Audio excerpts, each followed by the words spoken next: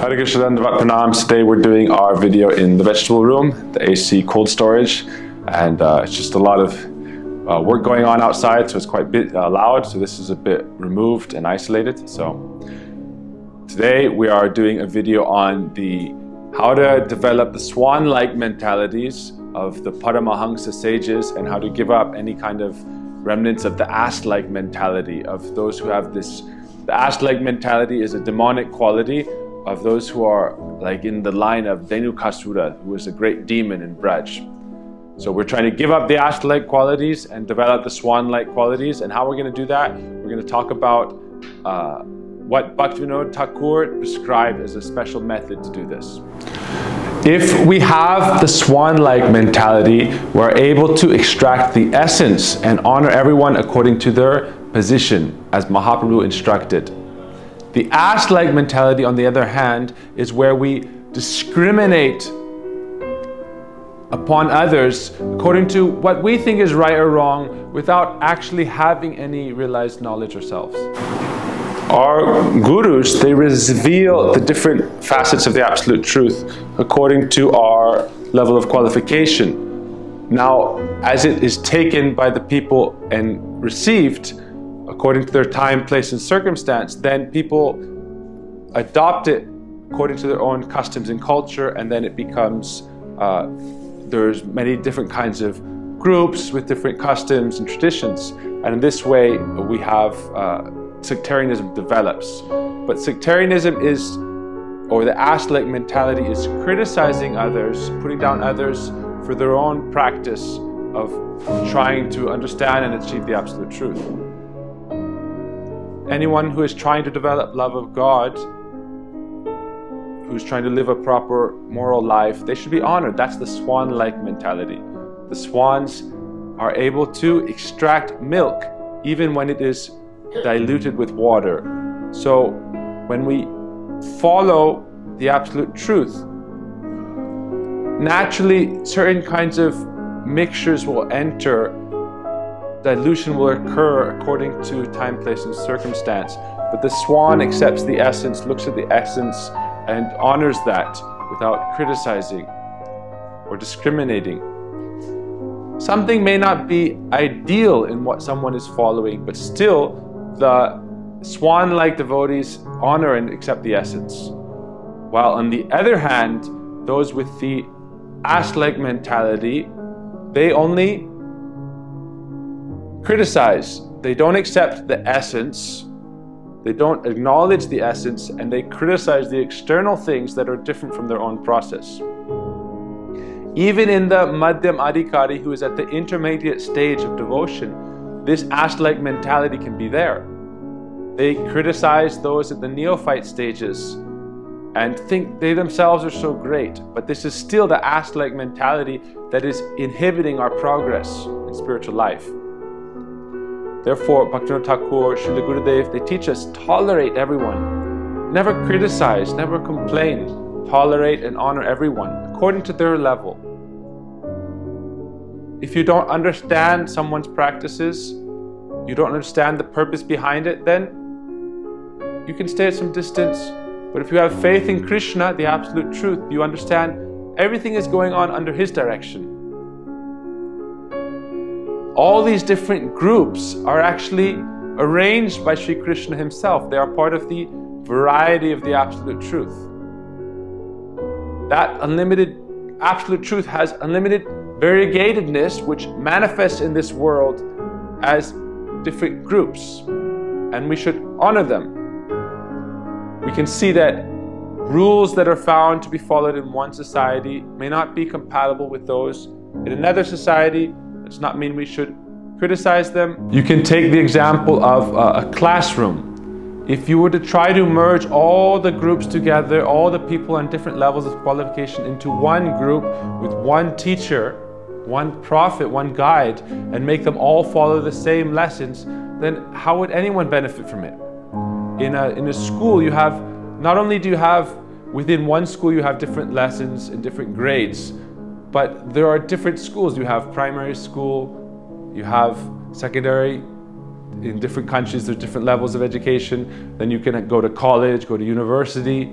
if you try to put the kindergarten students in the same class with university students and have one teacher who's trying to explain the same thing to all of them, then how are any how is anyone going to benefit? That's uh, so sectarianism doesn't mean that having different groups is bad. That's not the problem. Having different groups is natural.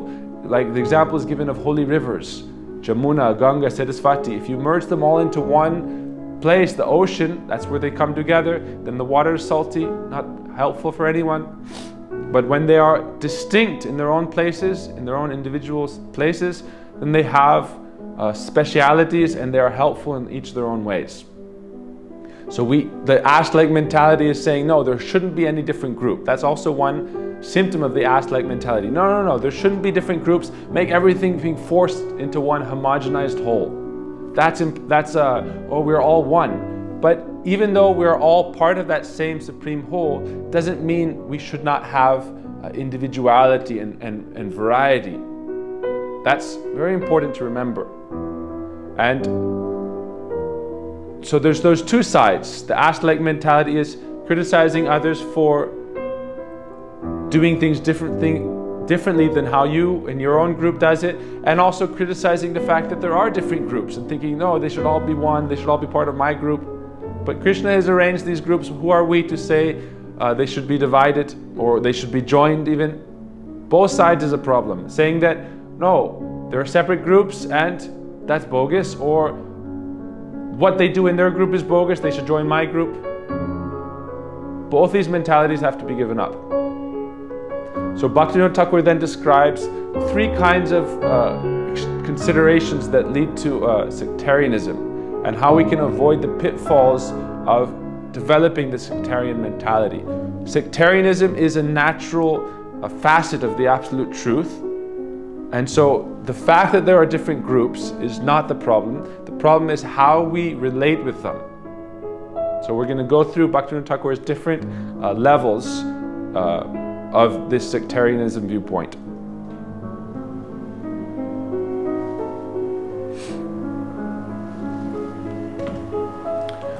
The first one is called alochakagata. That means the external uh, signs, like in different religions, people wear different kinds of attire, different types of garb. That is alochakagata vichar. The second kind of standard is called alochanagata vichar the consideration that sees difference because everyone has a different way of worshiping, everyone has a different process. Uh, and also, some people, they will worship trees, rivers, mountains as a representation of their God. And those who consider themselves to be more civilized, they criticize them, oh, they're just pagans, or they're gonna, uh, they're gonna go to hell and burn eternally in hellfire. But Krishna has arranged the different levels of faith so that people can gradually progress. And there's an example, like you can think, oh, like Native Americans, for example, they are hunting and killing, and we think they are more, uh, less evolved than the first world people. This is also, uh, in the first world, we're slaughtering billions of animals in, in great factories with no remorse. And when the Native American is hunting, what do they do? Even if they uh, they kill one buffalo, but they will honor it, they will pray to it, saying, I'm doing this to maintain my tribe. What can I do? But I accept the reaction for this. I'm offering you up to the Great Spirit. In, in, in even in India, those who are doing uh, goat sacrifices, this is a very abominable practice, but still it's better than mass slaughterhouse societies. Like better than killing millions of animals a day in a slaughterhouse. You slaughter a goat and you whisper in its ear. The process is, oh, mangsa means I am taking your meat. Mangsa is Sanskrit for meat. Mangsa means mang is me and sa is he in Sanskrit. So today I am killing you and taking your flesh tomorrow or the next in the next birth it, according to karma you will take me. So I'm offering myself to you also. So it's acknowledging the karmic role of this and therefore it's it's more evolved actually. So this is just going to show that just because someone is following a different practice, Alochanagata Vichar, different process, or alochaka gata vichar, they're wearing a different kind of garb. That doesn't mean we should criticize them for that. The Madhyamadhikari in the intermediate stage, he should discriminate in some regard, meaning he has love for God, friendship with devotees, mercy towards those who are trying to advance but who are neophyte, and he is uh, removed from those who are of the very antagonistic mentality to the Lord. But just because there is that difference doesn't mean we should uh, criticize them. Now, there's an important story in regards to this. Once there was a, a sage sadhu who was living under a tree outside uh, the, on the outskirts of a town. And everyone honored him, gave him donations, and they would attend his sacrifice yagyas and uh, his kirtans and bhajan and things like that. But anyone who would come to him, when they were going towards the town, he would warn them, oh, don't go. In that town, there's a brothel with a famous prostitute. And if you go there, you will destroy your life. She's such a wicked, sinful person. Everyone who would come, he would criticize that prostitute. And always in this way, she was in his mind. The activities of that prostitute were in his mind in that way. And on the other hand, the prostitute, she was always condemning herself, thinking, I am doing such sinful work, such sinful body business, as Prabhuji says, body business. But on the other hand, this sadhu, he is so great, he is so exalted. We're being joined by devotees here. Haribol taking the bhoga, taking the vegetables and fruits. So, what is the difference? The prostitute was always thinking of the sadhu and always repenting for her own activities, and the sadhu was always thinking of her. And so, when the sadhu left his body, the so called sage, then the Yamadutas, the messengers of the god of death, came and dragged him to hell. He said, No, no, no, you've got the wrong guy. Go to the brothel and take the prostitute. And they said, No, no, no. We've gotten our instructions very carefully. We've taken the GPS. We've, we've come to the right address. And they dragged him down just punished in hell. And the Vedic tradition of hell is that you suffer in hell until your, your karma for that is completed, and then you will come back to uh, the earth planet. On the other hand, the prostitute, she was welcomed uh, by the messengers of the god Vishnu in Vaikuntha, who sent his messengers to bring her to the spiritual realm. She said, Oh, I'm so sinful, degraded. Why are you taking me? Go take that sage, that sadhu. They said, no, no, no, we, the Yamadutas already came for him. He's already gone to hell. Why have you come for me? I'm engaged in so much sinful activity. He said, no, you are always repentant and you are always glorifying the, the saintly qualities that you perceived in the sage. Therefore, the mind, this is mind over matter.